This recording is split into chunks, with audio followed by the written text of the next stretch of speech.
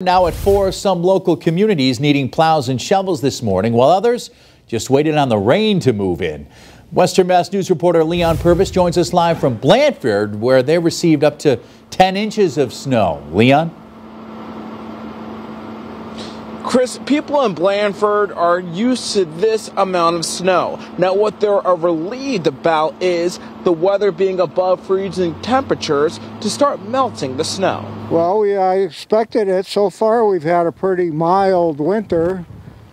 Uh, I didn't really expect this much, but uh, you know, you can't tell. So we got it. So I just wanted to get it out of the way. Russell Taylor, or better known as Rick, woke up to more snow than he was anticipating.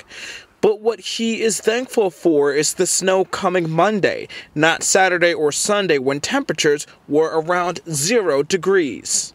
Yesterday was brutal, and the day before it was very, very cold. Right, this isn't, it's warmed up. You know, this is nothing.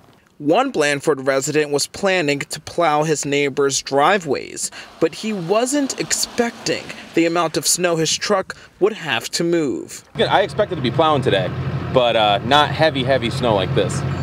But for as when Chris Gibbs got started plowing? Uh, right about when it switched over to rain. Should have should have been out a little bit earlier, but uh, we slept in and we made the best of it. DPW crews in Blandford has spent all day long plowing and salting the roads. As on our way here, the roads were pretty clear. Now, coming up tonight on Western Mass News, hear from one animal hospital on how the snow impacted them today. For now, live in Blandford, Leon Purvis, Western Mass News.